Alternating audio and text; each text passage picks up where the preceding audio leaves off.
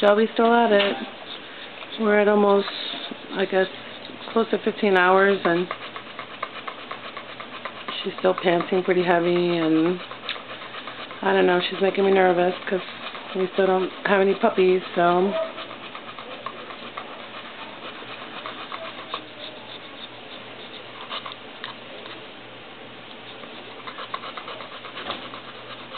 I don't know what could be taking her so long.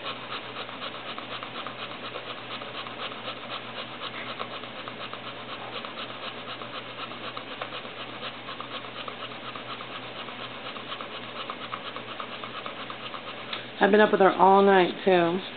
Hardly have any sleep. About an hour. I've been napping here and there, but I can't even nap. so, just doing a little bit of footage to show that this is the third video now. We hope they come soon. Lord Jesus, please. Alrighty. We'll get back to you guys.